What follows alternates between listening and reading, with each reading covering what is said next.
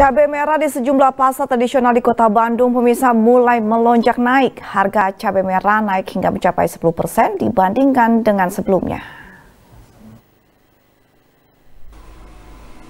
Dari pantauan di Pasar Kosambi Bandung memasuki hari keempat bulan Ramadan, harga cabai merah mulai melonjak naik dibandingkan dengan hari-hari sebelumnya.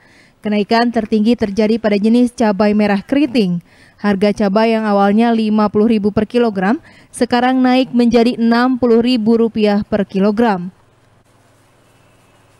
Sementara itu harga bawang putih yang sempat naik sebelum bulan Ramadan sekarang mulai turun kembali dari harga yang sempat Rp80.000 per kilogram sekarang turun menjadi Rp60.000 per kilogram. Selain cabai, kenaikan harga pun terjadi pada wortel dari harga Rp12.000 per kilogram kini naik menjadi Rp14.000 per kilogram. Kenaikan harga bahan pokok ini karena tibanya bulan Ramadan dan karena faktor cuaca yang ekstrim. Para pedagang dan masyarakat menginginkan pemerintah segera mengambil langkah untuk membuat harga bahan pokok kembali normal.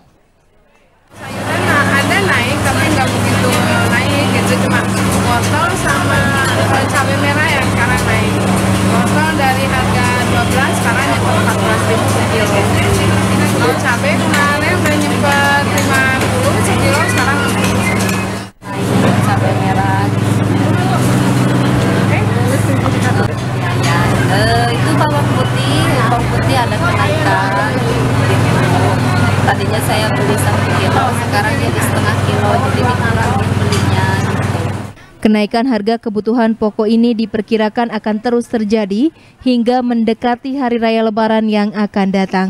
Banyak pedagang dan juga pembeli yang mengeluh dengan kenaikan harga kebutuhan pokok yang sedikit demi sedikit terus mengalami kenaikan. Yuwana Kurniawan, Bandung TV.